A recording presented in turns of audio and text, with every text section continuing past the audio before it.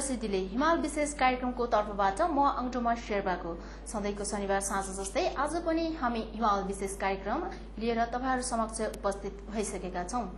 यो हिमाल विशेष कार्यक्रम विशेषतः हिमाली आदिवासीहरूको चासो र सवालहरूलाई लिएर समस्त दर्शकहरूमाझ प्रस्तुत हुने गर्दछ।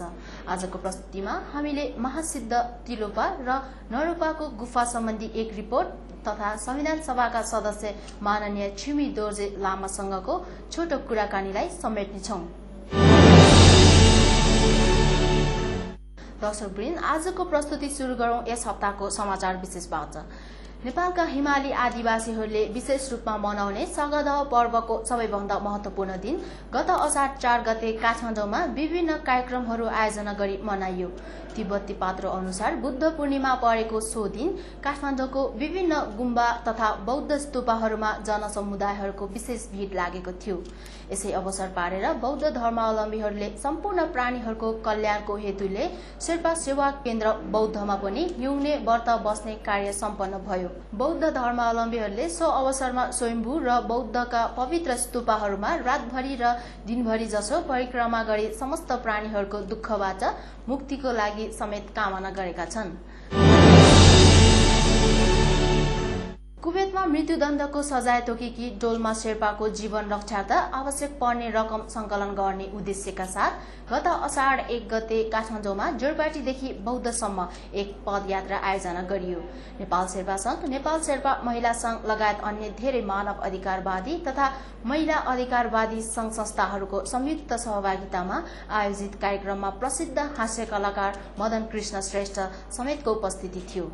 कार्यक्रममा डोल्मा जीवन बचाउ अभियानको तर्फबाट नेपाल शेर्पा संघका केन्द्रीय सदस्य लाक्पा छिलेन शेर्पा र नेपाल शेर्पा महिला संघका अध्यक्ष निमी शेर्पाले यो कार्यक्रम सम्बन्धमा यस हिमाल विशेष कार्यक्रमलाई प्रतिक्रिया दिँदै भन्नुभयो।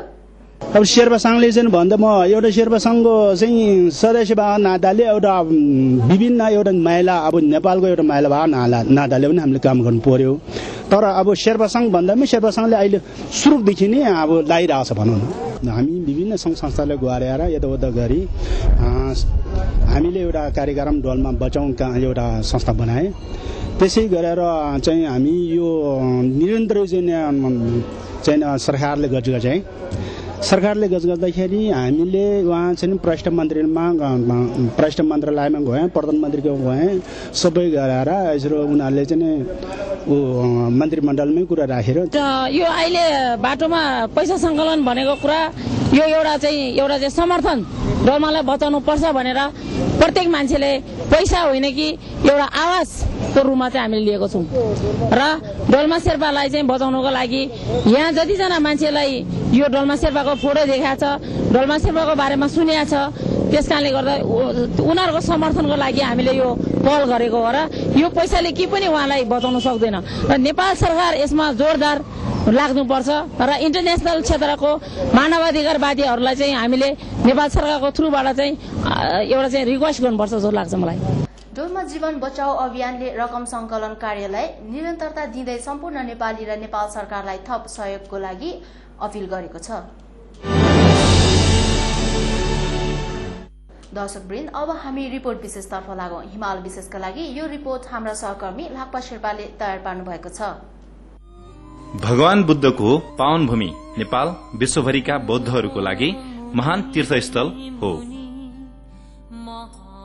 हाम्रो देश नेपालको विभिन्न ठाउँमा पर्याप्त बौद्ध तीर्थस्थलहरू छरिएर रहेका छन्।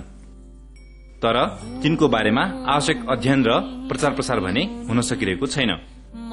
पशुपतिनाथ क्षेत्र बौद्ध धर्मावलम्बीहरूको पनि तीर्थस्थल हो।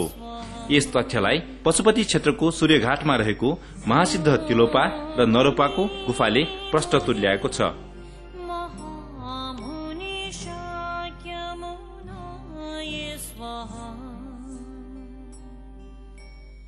बौद्ध धर्मावलम्बीहरूले अत्यन्तै श्रद्धा गर्ने चौरासी महासिद्ध मध्ये तिलोपा एसबी सम्बत नौ सय अठासीदेखि एक हजार उनासत्तरी र नरोपा एसबी सम्बत नौ सय छप्पन्नदेखि एक हजार एकचालिस अवधिसम्म रहेको विभिन्न धर्म ग्रन्थमा उल्लेख गरिएको छ। तिब्बती बौद्ध धर्म अन्तर्गत कग्यु सम्प्रदायको विकास सोही समयमा तिलोपाबाट शुरू भएको मानिन्छ। तिलोपाको अत्यन्तै सुयोग्य चेलाको रूपमा नरोपाले मिला रेपा लगायत अन्य चेलाहरूलाई बौद्ध ज्ञान प्रसार गराएका थिए। वाङपो चेन्पोको पवित्र स्थल पशुपतिनाथ क्षेत्रको सूर्यघाट स्थलमा आई